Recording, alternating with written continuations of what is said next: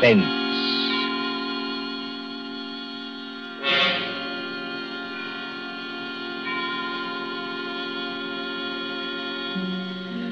Tonight, Columbia brings you as a guest star Peter Lorre, one of the screen's past masters of the art of suspense.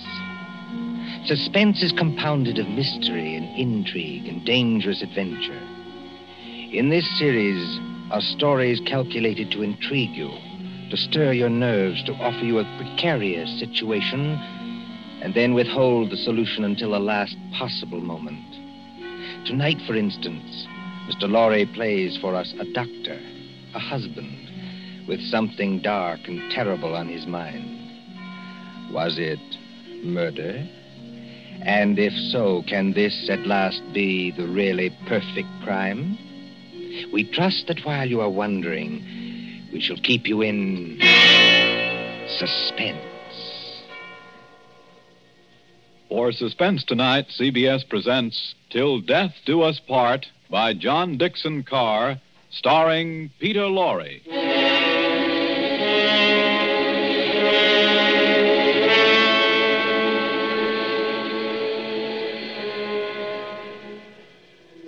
Late one night in December of 1941, a man and his wife sat beside the fire in their country cottage. This man, look at him. A professor of mathematics, stout and middle aged, guileless as a child. In the remote corner of England where he lives with his pretty English wife, they say of him. Jolly decent fellow, you know, for a foreigner. Isn't he? Always a smile for everybody and so polite.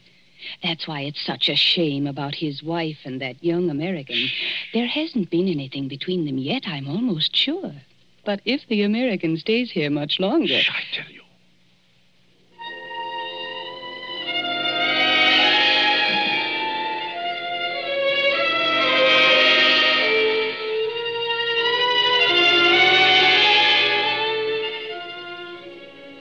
Happy man, this Professor Kraft.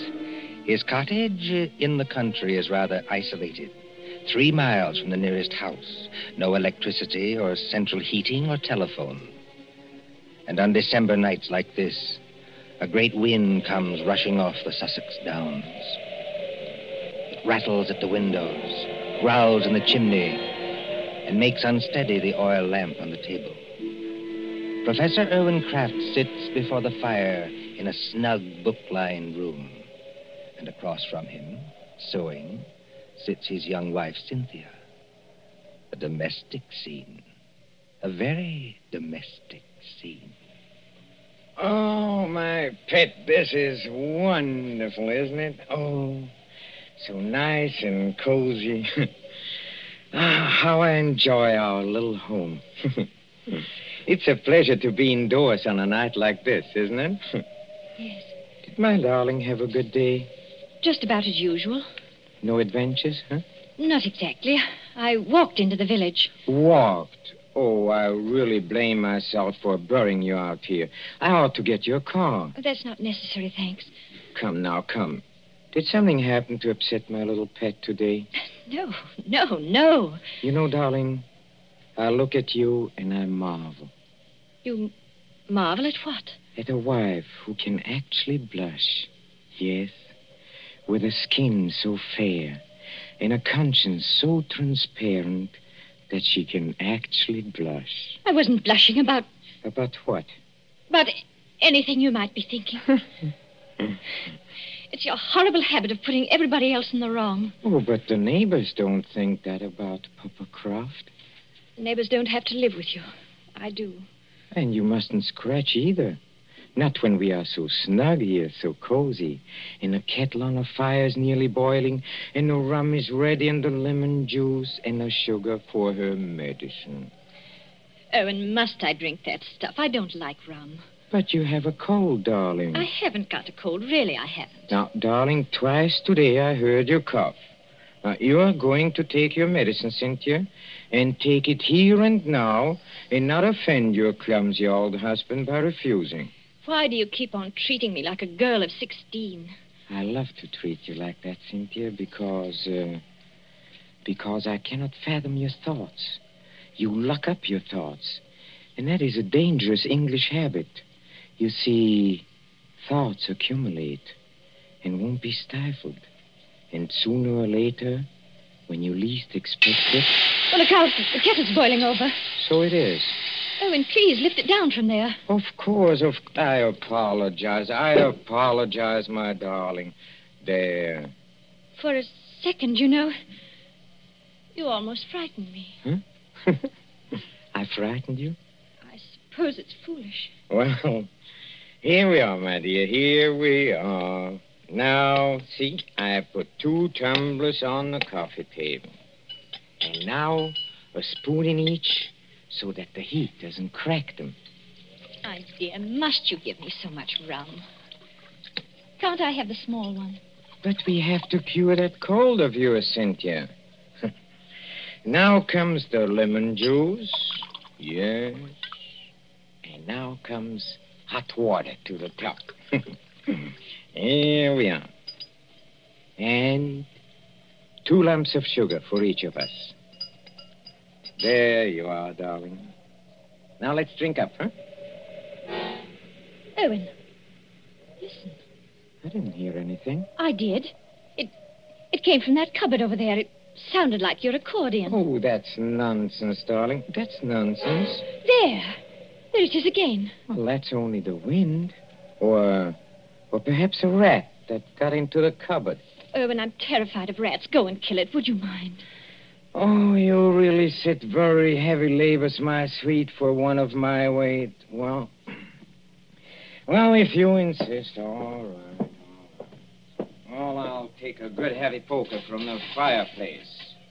And of course, it means a little trip to the cupboard. Owen, uh, never mind. You haven't changed your mind, have you? It'd probably run out across the floor. Come back. Wouldn't run very far, I'm sure. Well, again, if you insist. I can't think what's the matter with me tonight. No? No, You're sure nothing upset you in the village today, huh? certainly not. How about uh, this young American, that uh, fledgling doctor? What's his name? Do you mean Dr. Craig? That's it, Dr. Craig. Dr. Craig. Didn't someone say he was leaving today for London and, and then back to the States? I believe so. That's what Lady Randolph told me. And you didn't say goodbye to him? Certainly not. Wow, that wasn't kind of you, darling. That wasn't friendly. What's the matter? Don't you like my nice hot rum drink? No. But you'll give me no peace till I do drink it. That's right, darling. That's right. Now, take it down like a good girl. I'm keeping you company. See? Oh, how pretty she looks.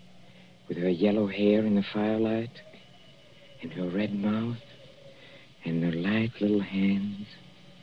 Very pretty. Oh, uh, there is just one other thing, Cynthia. I, I gave you a letter to post this afternoon. Did you post it? Yes. Registered? Yes. And uh, did you notice to whom the letter was addressed? Everybody notices the address on an envelope. It was to some Mr. Hatherby at Market Shepherd. That's right. But I, I don't know who he is, if that's what you mean. Oh, Mr. Hatherby is, uh, is the coroner of this district. The coroner. That's right. That's right.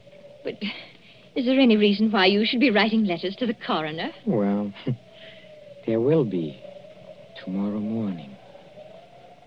We have been just drinking poison, my love. Why did you drop your glass, darling? I don't believe you. No? uh, this will interest you, Cynthia. You were a trained nurse, and weren't you, uh... You see, the poison was aconite, monk's shoot. No. Yes, homegrown in our own little garden. You know, one sixteenth of a grain has been a fatal dose. There's no telephone here. No car, not even a neighbor. Exactly, my angel. Take your hands off me. Let me get up. No, my pet. In about five minutes, you see, the the first symptoms will come on. Symptoms. Yes. Our throats will grow dry. Our eyesight will turn dim, No. and presently we'll lose the use of our limbs. Well, there are convulsions before the end, I believe, but we won't feel them. Let me up. If if you try to hit at me, Angel, you'll upset that lamp, and well, if you upset the lamp, this cottage would go up like tinder. We don't want to burn to death, do we? Erwin, why are you doing this? Why are you doing it? Why? Do you think all Papa Kraft is blind, my pet? Huh? If I can't have you, Cynthia, nobody else is going to have you. You mean Jim Craig? So it is Jim Craig. Oh, there- that was nothing. My tongue slipped. A cynic would say, my dear, that your foot slipped. Do you think I don't know what happened the other night at the schoolhouse? The schoolhouse? Yes, the Market Shepherd Schoolhouse. At Lady Randolph's little concert in aid of the war relief. Nothing happened. I swear it didn't. No? No. Oh, then it was coincidence, I suppose, that you and that Dr. Craig didn't arrive until the concert was nearly over. Yes. Yes, it was. We didn't go there together. No? We met in the little hall outside the auditorium. It was just as you were finishing your number on the accordion.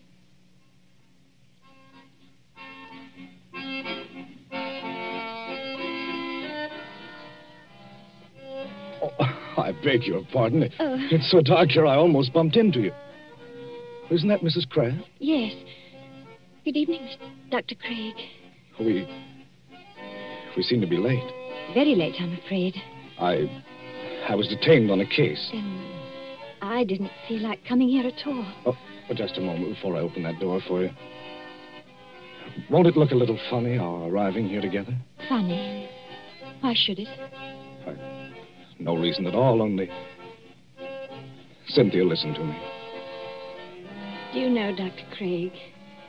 That's the first time you've ever called me by my first name. I did want to have a word with you somehow. Of course, you've heard the news. What news? Well, on the radio for the past couple of days. Oh, we're too far out to get much news, and my husband isn't interested. He isn't interested. He isn't interested in anything but himself. I'd rather, you didn't talk that way about my husband.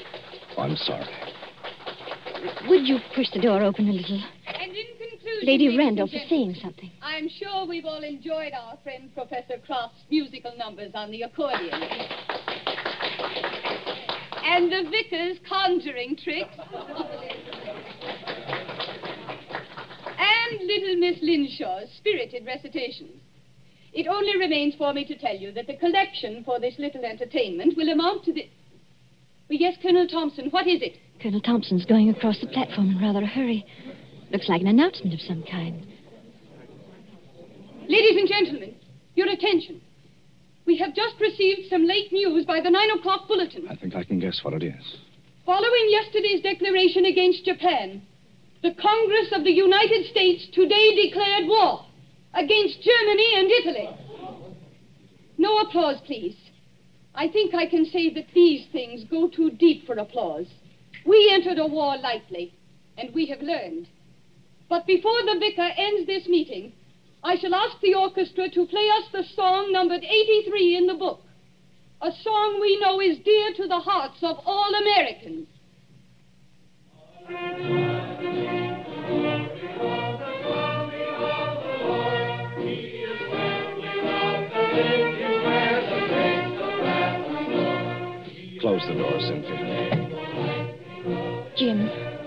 This doesn't affect you. Naturally, it does. You won't be leaving England. Probably in a very short time. They'll be needing doctors. But does a formal declaration of war make any difference? What does it mean to you? What does it mean? I I can't explain it, Cynthia. It's all in that song. If they're going to need me, I'll go back. But can't you do just as much good here in England? I don't know. That depends on what the army says. And doesn't anything depend on what I say? We haven't got much time, Cynthia. That, that crowd will be out in a minute. Yes. And we won't admit it, will we? Admit what? Admit how we feel about each other. I haven't said Nor I. I was only talking about what we were thinking. no. We won't admit it. You say you can't explain about the war. I can't explain about this. Don't try. It's better this way. Erwin's been very good to me. And he's such a childlike person. Yes. Everybody likes him. Oh, he has his tempers, and he's not easy to live with sometimes, in spite of what they think. But I can't do anything to hurt him, because he'd never do anything to hurt me. Never, never, never in the world.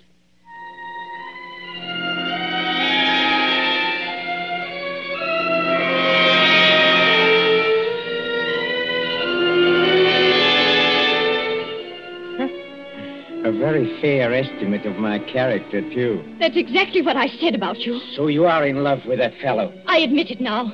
Yes. Tell me, darling, do you feel anything yet? Feel anything? I mean, uh, dryness? Muscular contraction of the throat? Yes. Oh, I thought so.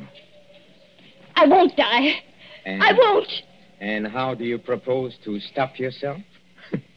Your only chance would be to reach the village infirmary. And I'll see to it that you don't get there. But what if the poison takes you before it takes me? Then you can't stop me. But it won't, darling. You seem terribly sure of that. You see, the amount I gave you, as you perhaps noticed, was more than I gave myself. I'm going to follow you, my little pet, into the dark, where there are no Dr. Jim Craigs, but not too quickly. I shall still have most of my faculties, Cynthia, when your convulsions are already beginning. Oh, I wonder if you will. why do you say that? Your legs don't seem any too steady. Uh, I don't know. It must be the heat of uh, the fire, perhaps, or it's very hot in this room. Cynthia, Cynthia, darling, listen to me. Yes, Irwin? There, there is a copy of uh, of Taylor's medical jurisprudence on the there over on the shelf there. Please, uh, please get it for me. I'm afraid you'll have to get it for yourself, my dear. That is, if you can. Oh, uh, I'll get it. Uh, I'll, Mind the lamp, Erwin. We don't want the house afire, just as you said yourself. I'll mind the lamp. Uh, listen to me. You know, some people's systems aren't tolerant to poisons. They, they experience in minutes what ought to take hours. Does it hurt, Owen? Does it hurt? Yes. But you'll find out soon enough, my pet. Because. Because you'll never make three miles to the village. Never. You think not? I know it. And. And just remember. I. I shall be waiting Waiting. out in the dark and cold, where there is neither marriage nor giving in in marriage. I'll be waiting for my little pet to come and join me. I. I shall be waiting. Erwin. Erwin. Oh. I hate you. I loathe you. I'm afraid of you. But I don't want you to die because of me. And, and yet, you are dead, Erwin. I'm not going to join you. I've never prayed much, Erwin, but I'm praying now. Whatever comes over my wits and makes my senses weak, give me strength enough to get to the village. Just give me strength enough to get to the village.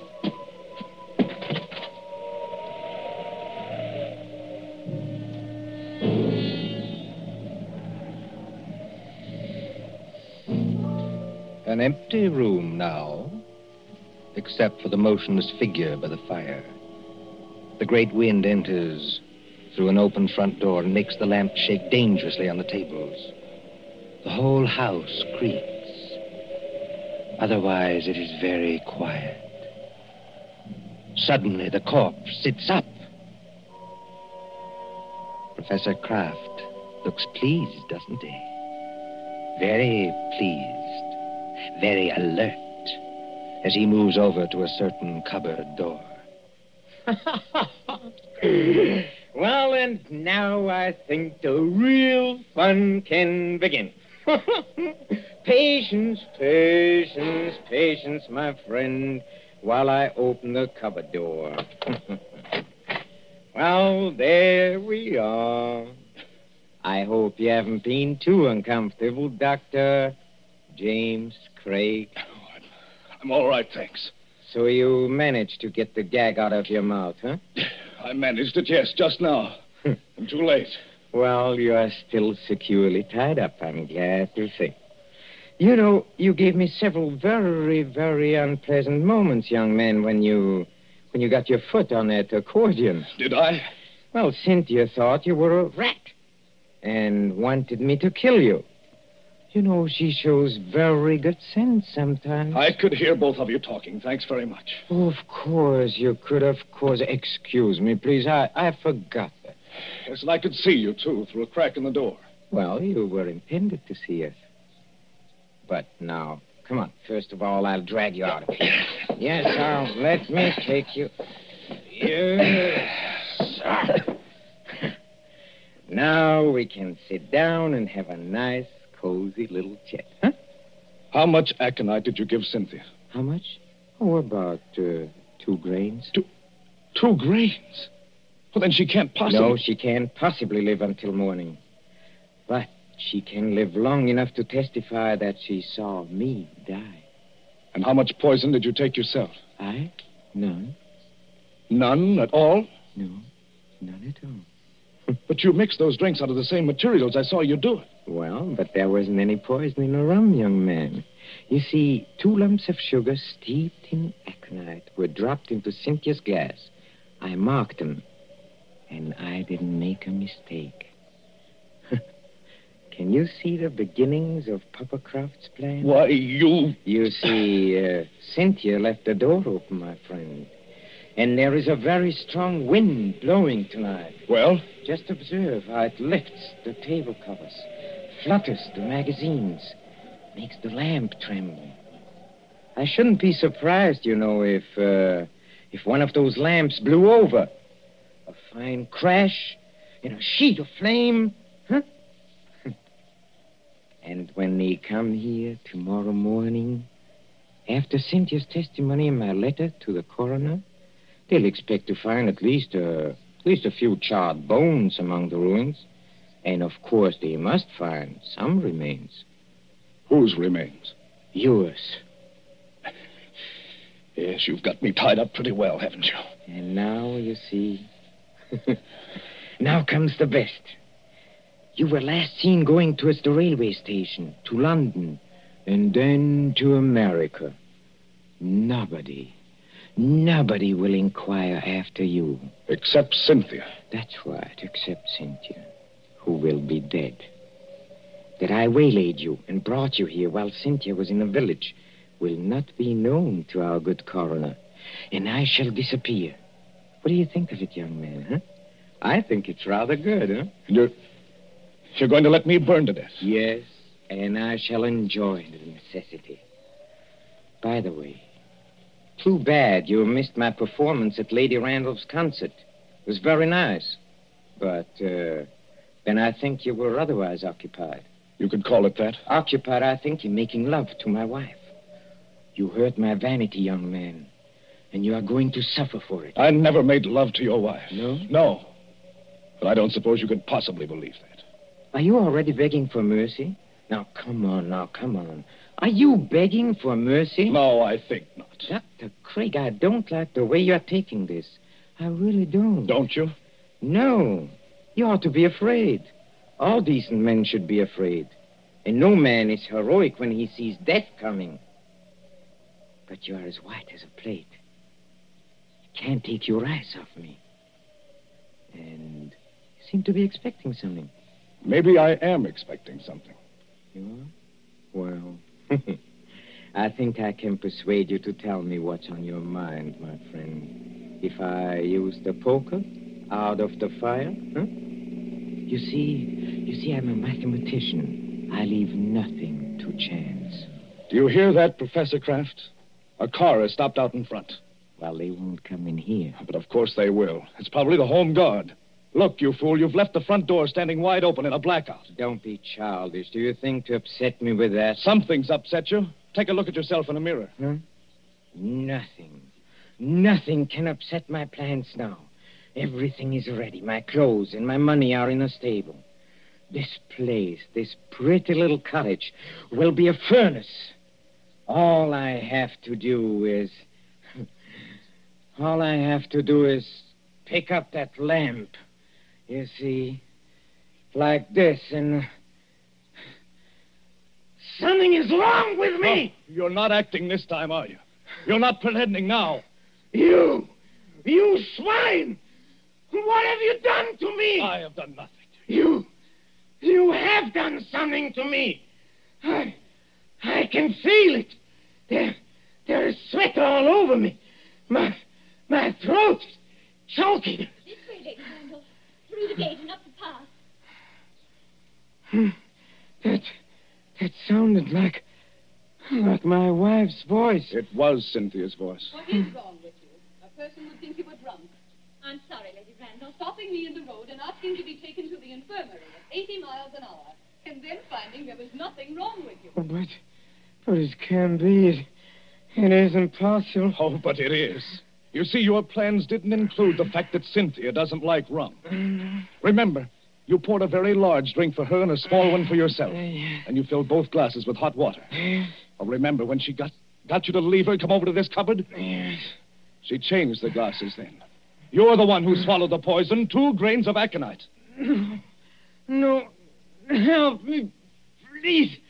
Help me. Nothing on earth can save you. Help me, please. In the name of pity, please. Please help me. Nothing on earth can save you. Please. No. You won't. Then. Then I'll show you. I'll. I'll take you with me. I'll take everybody with me. Where are you going? I'll. I'll get that lamp. I'll take you with me. Why, look at you. You can't even see. You're blind. You're staggering straight into that cupboard. I'll. I'll take you. I'll take you with me.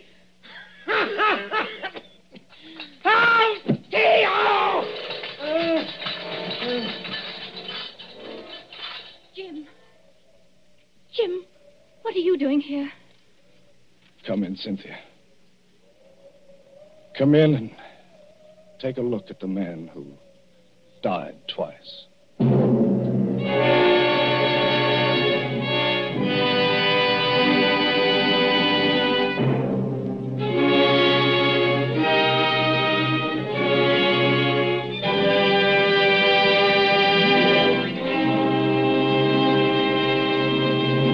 And so ends Till Death Do Us Part, starring Peter Lorre. Tonight's story of suspense. Columbia presents these tales of mystery and intrigue and dangerous adventure for your relaxation and enjoyment. Next Tuesday there'll be another in this series, same hour, 9:30 Eastern Wartime. Mr. Lorre was starred as Professor Kraft.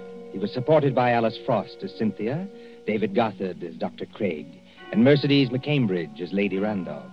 William Spier, the producer, John Dietz, the director, Bernard Herrmann, the composer conductor, and John Dickson Carr, the author, are collaborators on Suspense. This is the Columbia Broadcasting System.